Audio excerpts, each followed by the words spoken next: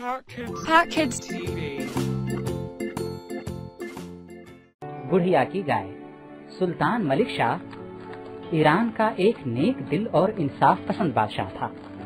एक दफ़ा का ज़िक्र है कि वो इस्फहान के जंगलों में शिकार खेल रहा था। शिकार के दौरान उसे एक गाँव के करीब ठहरना पड़ा। सिपाहियों ने एक बाग में सुल्तान का खेमा लगा दिया और उसके आसपास अपने खेमे लगा लिए। कुछ देर बाद सिपाहियों ने देखा कि गाँव के करीब एक मोटी ताजी गाय चल रही है। उस गाय के साथ कोई आदमी नहीं था। ये तो लावारिस गाय मालूम होती है। चलो इसे जबह करके खा लो। चुनांचे वो तीन सिपाही गए और गाय को पकड़ लाए।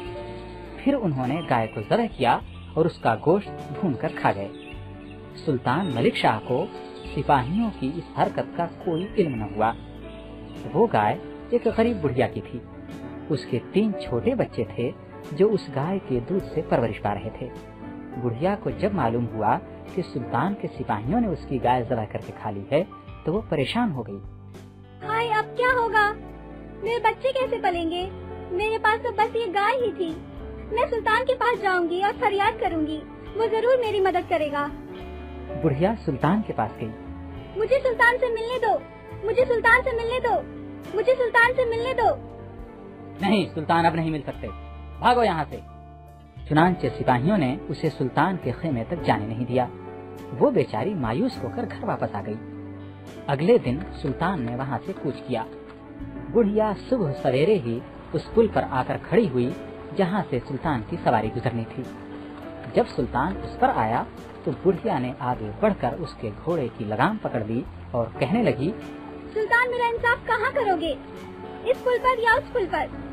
उस पुल से बुढ़िया का मतलब पुल सिरात है जिस पर से कयामत के दिन हर शख्स को गुजरना होगा। बुढ़िया की बात सुनकर वो खौफ के मारे सर से पाँव तक काँप उठा।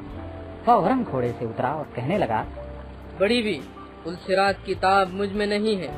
मैं तुम्हारा इंसाफ इसी पुल पर करने के लिए तैयार हूँ। अपना मसला बयान करो और बताओ कि तुम्हारे साथ क्या जुल्म हुआ है और किसने किया? तुम्हारे सिपाही मेरी गाय जुबा करके खा गए हैं। उस गाय के दूध पर मेरे बच्चों का गुजारा था। उन्होंने मेरे बच्चों का रिस्क छीन लिया है। सच सच बताओ क्या वाकई तुमने इस बुढ़िया की गाय जुबा करके खा ली है? हुजूर ये कसूर वाकई हमी से हुआ है। उस गाय के साथ कोई आदमी नहीं था। इसलिए हमने ख्याल किया कि वो लावारिस है। अगर हमें मालूम होता कि वो गाय इस बुढ़िया की है तो हम कभी उसे जबह न करते। बड़ी भी ये एक गाय के बदले तुम्हें सत्तर गायें देता हूँ। क्या तुम इस पर राज़ी हो जाओगी? और मुझे और मेरे सिपाहियों को माफ़ कर दोगी? बुढ़िया को और क्या चाहिए था? वो फ़ौरन रजामंद हो गई। सुल्तान ने उसे सत्तर गायें दी। इसके अलावा और बहुत कुछ देकर उसे खुश किया। जब बुढ़िया ने खुश होकर सुल्तान और उसके सिपाहियों को माफ़ कर दिया, तब सुल्तान ने आगे कदम बढ़ाया। बच्चों, इस कहानी से ये सबक मिलता है कि खुदा का खौफ ही बादशाहों और हुक्मरानों को इंसाफ के लिए आमादा कर सकता है।